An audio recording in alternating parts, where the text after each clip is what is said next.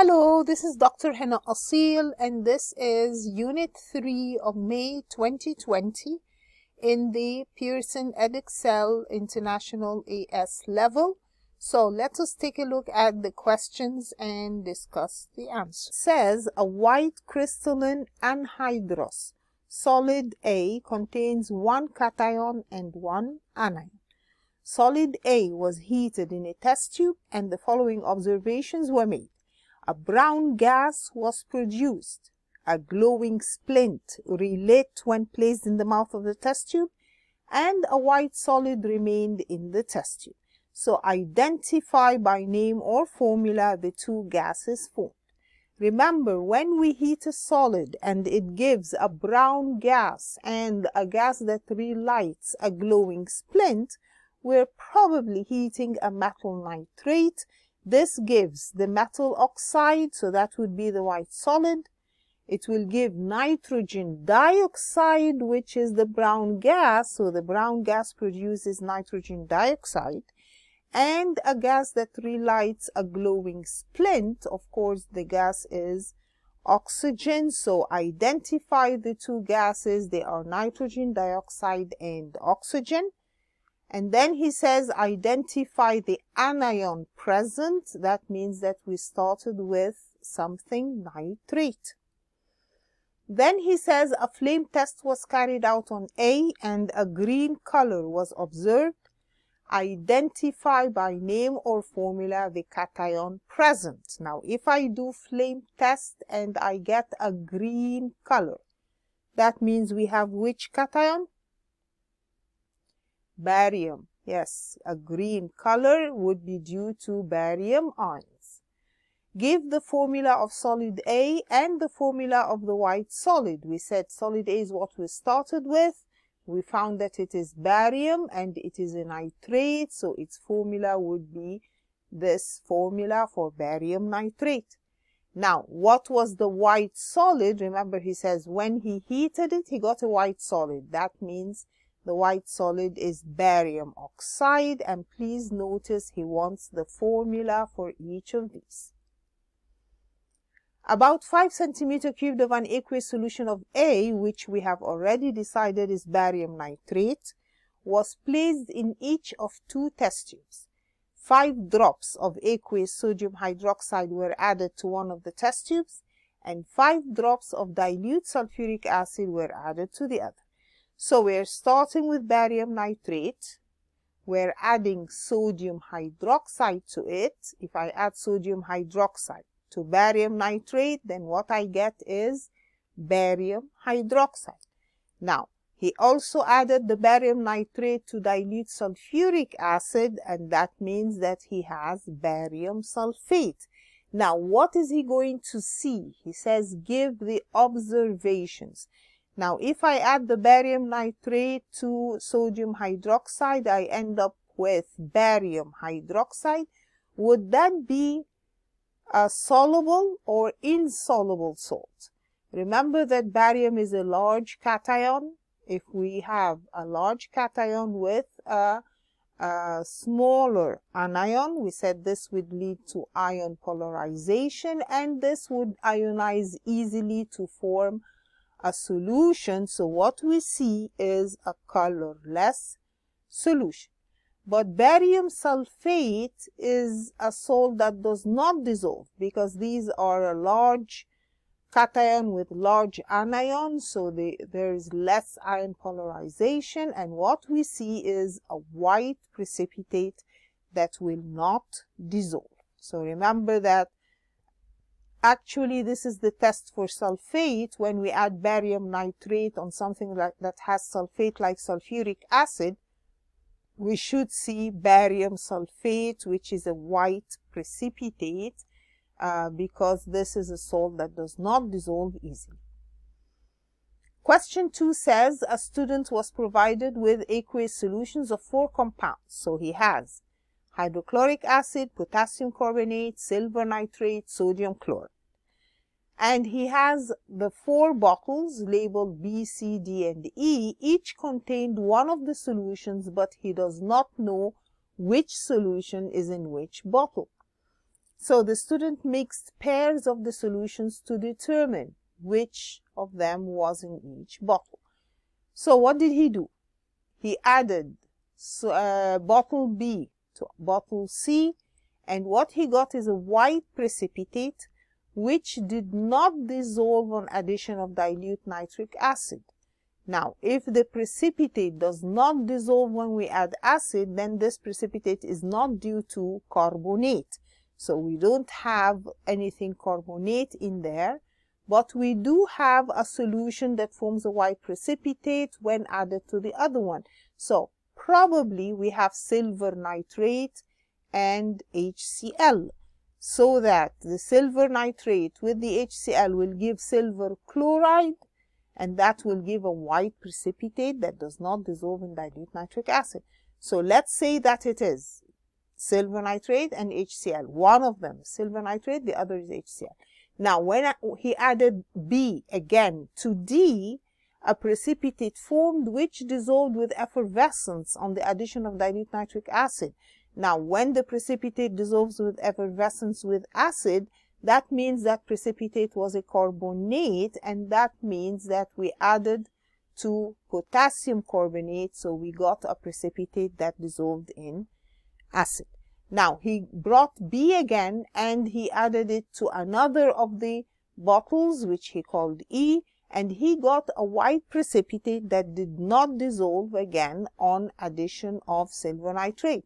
So, uh, or nitric acid, sorry. So, if we decided that B is silver nitrate, then C is hydrochloric acid, D is potassium carbonate, and E would be the sodium chloride. Okay? Now, let's try the rest of them. If this is correct, then the rest would follow.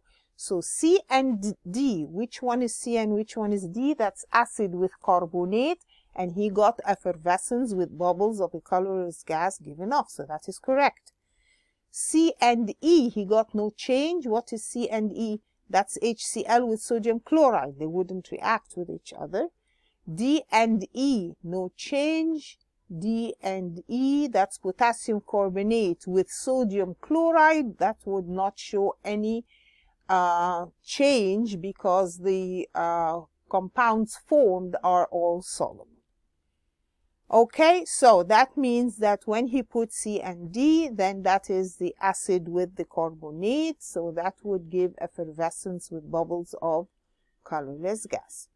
So from all of these observations, we already decided that B is silver nitrate, C is HCl, D is potassium carbonate, and E is the sodium chloride.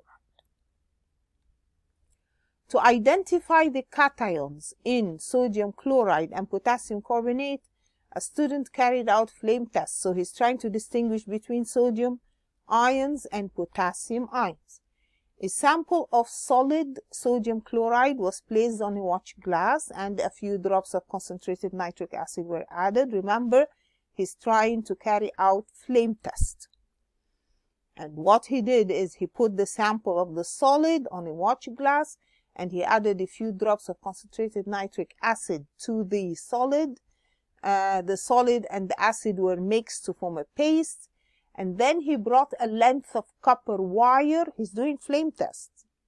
A length of copper wire was dipped into the paste. A Bunsen burner was set up with the air hole closed.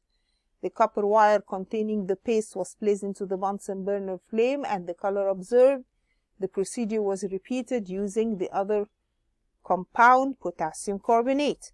Now, for each of these steps, give an improvement in the procedure. Of course, there are many things that are wrong with this procedure.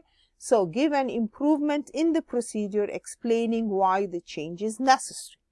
So what's wrong with what he did? This is not how we do a flame test. In step one, he got the solid and added nitric acid and made it into a paste. Is this what we do when we're doing a flame test? Actually, the first step when we do a flame test is we should dip the wire in concentrated HCl to clean the wire and remove traces of previous samples. This is how we start a flame test.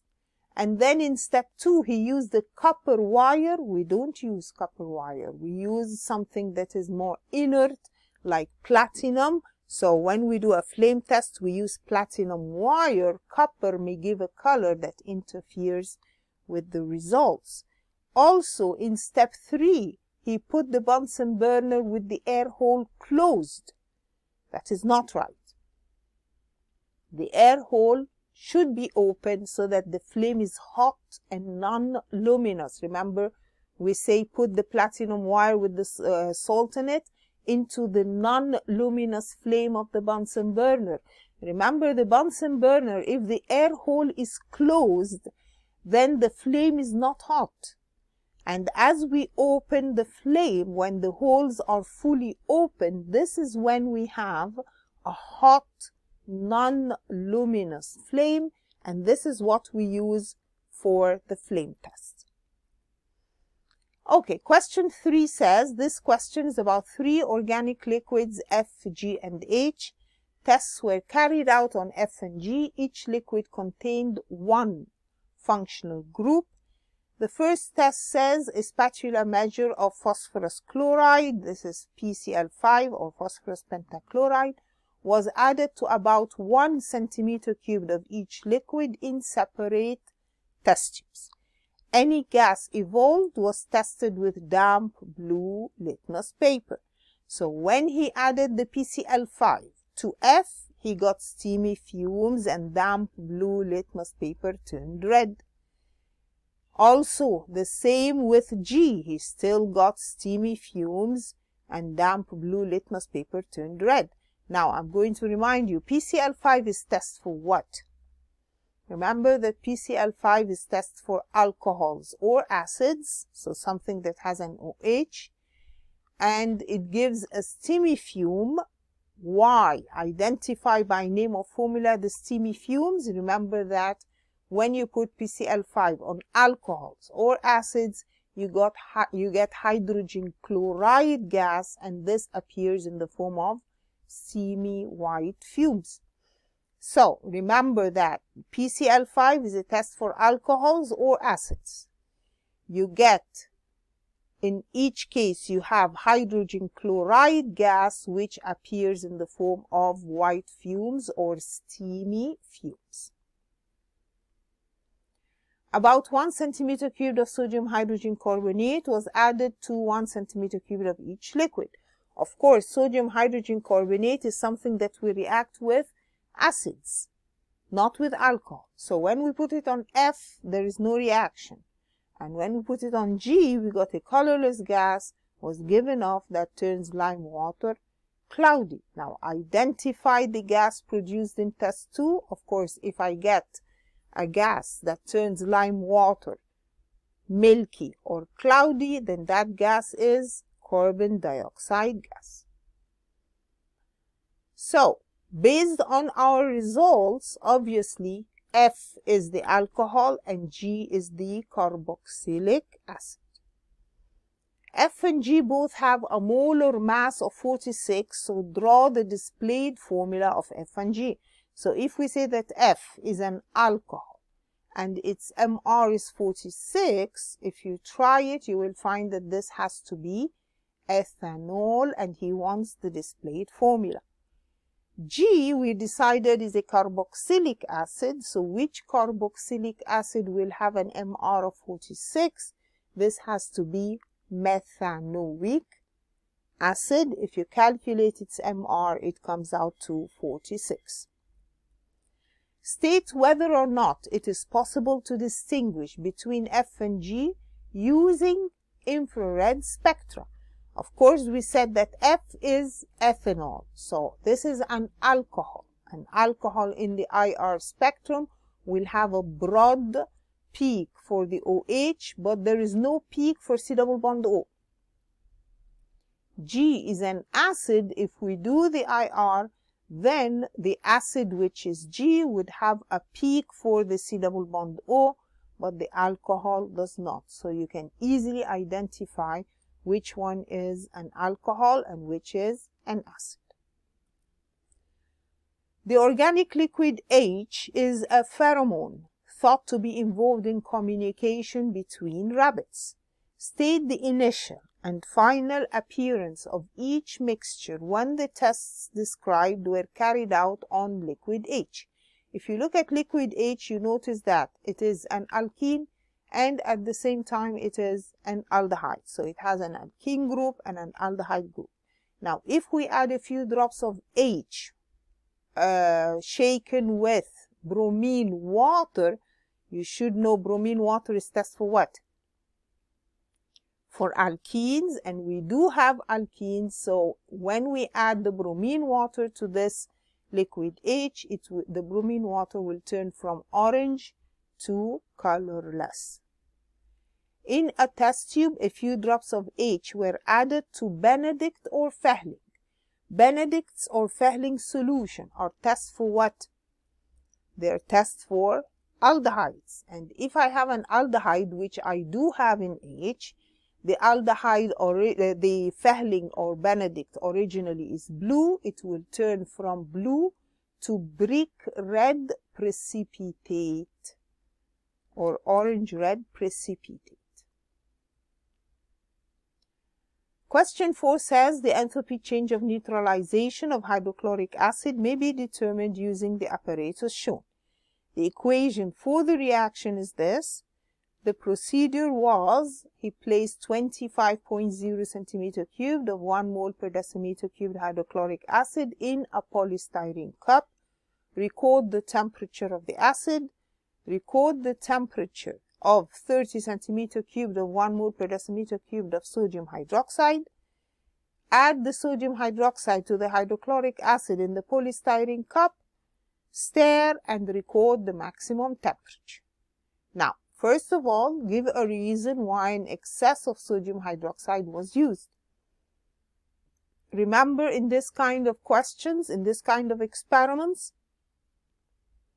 when he says, why do we add excess sodium hydroxide? It is to make sure that all the acid has reacted. The diagram shows part of the thermometer when the temperature had reached its maximum. Record the temperature and complete the table. So what is the temperature in that diagram? If you look at that uh, diagram, you will find that the temperature is what? 27.5. Can you see that? So the temperature change would be the difference between the starting temperature and the uh, uh, the maximum temperature. So the temperature change is 6.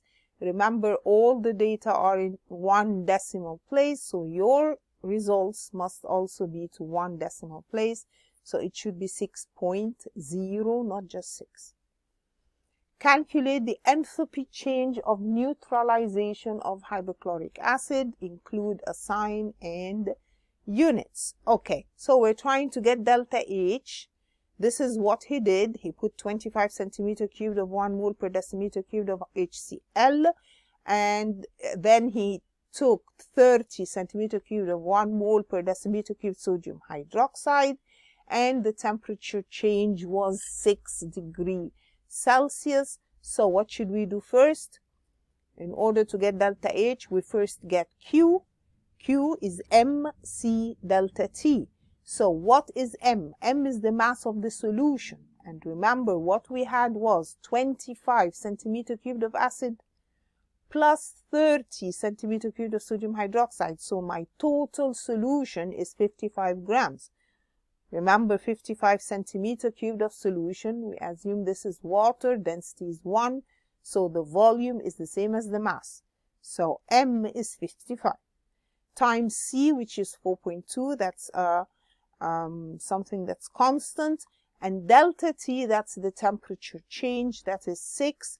Remember that what comes out from this equation is in joules. So we should actually divide by 1000 to get it in kilojoules. Then we put this into the equation for delta H and you should know that delta H is Q over N so I need to get the number of moles of HCl. Of course HCl number of moles will be concentration times volume. Remember the volume has to be in decimeter cubed. So we divided the 25 by 1000 and we got the number of moles of HCl. Now we can get delta H. Delta H is Q over N. So it's the uh, 1.386 kilojoules over the number of moles that we calculated. Then the number that comes out here is in kilojoule per mole. It must have a sign. Why did we decide that it is minus? Remember that there was a temperature rise. There was an increase in temperature so that means that this reaction is exothermic, so the delta H is a negative value. The experiment was repeated using a glass beaker instead of polystyrene cup. Explain how the value obtained for the enthalpy change would be different. Remember, we are supposed to do these kinds of experiments in a polystyrene cup. The, any experiment involving measuring of temperature, then we sh should do it in polystyrene cup. And you should know that that is because the polystyrene is an insulator, so there will be less loss of heat to the uh, uh, surroundings. He's now saying, I'm going to do it in a glass beaker. That's not a good idea because the glass beaker, there will be loss of heat to the environment. That means the value for delta H he calculates will be smaller. So eh, it will be less exothermic since the polystyrene is a better insulator. So there will be less loss of heat to the surroundings with the polystyrene than with the beaker. A student carried out an experiment to identify metal M in the hydrated carbonate M2CO3 10 water. A solution was made by dissolving 3.56 grams of the hydrated metal carbonate in distilled water, making the volume up to 250 centimeter cubed in a volumetric flask. 25 centimeter cubed of this solution was placed in a conical flask, titrated with 0.1 mole per decimeter cubed of hydrochloric acid. The equation for the reaction is this. Name a suitable piece of apparatus to measure the 25.0 centimeter cubed of solution. Remember to measure 25.0 centimeter cubed of solution, we use a pipette. Methyl orange indicator was used in this titration. Give the color change in the conical flask. Remember, this is the colors that we get for methyl orange. Now, what did we put into the flask? Let's go back just a little bit. He put what? He put the uh, metal carbonate in the flask. And that means I am starting with the solution in the flask yellow and then it will change to neutral which is orange. Remember you should see what he had in the flask if he started with acid, then it would start from red to orange. But he started with the carbonate solution, so that is from yellow to orange. The results of the titration are shown, and the first thing he says is complete the table. Of course, if I have final burette reading and initial burette reading, so for each titration, I just subtract the final minus the initial and get the uh, volume of acid used. Now, using appropriate titrations, calculate the mean. Remember, to calculate the mean or the average, which of these should we use?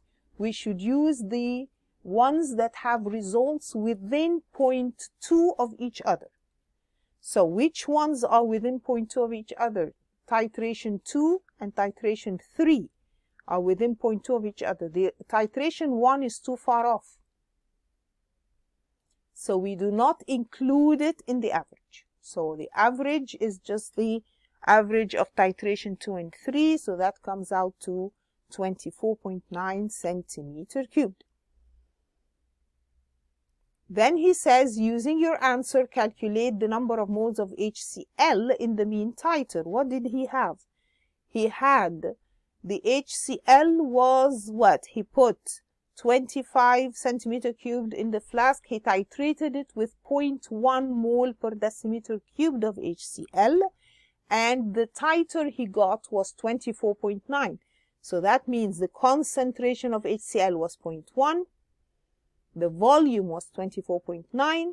So the number of moles is concentration times volume. So this gives me the number of moles of HCl that was used. Now calculate the number of moles of M2CO3. This was the equation. And you should realize that the number of moles of M2CO3 should be half the number of moles of HCl.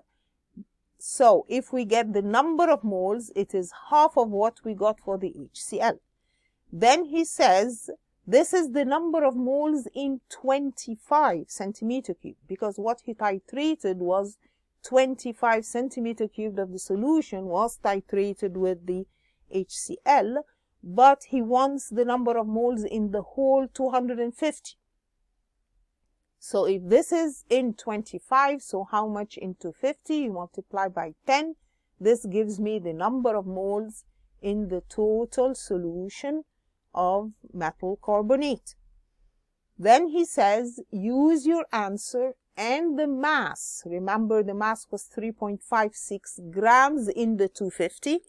Calculate the MR of the metal carbonate. So we have the MR should be the mass which he put, so that's 3.56 over the number of moles we calculated. So we get that the MR is about 286. Now, use that to identify M. We know that the formula is M2CO3 10 water. That's what he told us. And we found that the MR of all of this is 285.9 and I can deduce the um, value for the metal alone, for the metal ion alone. I have two of the M's plus the rest make up 285.9. So the 2m I can calculate for it and I can get m.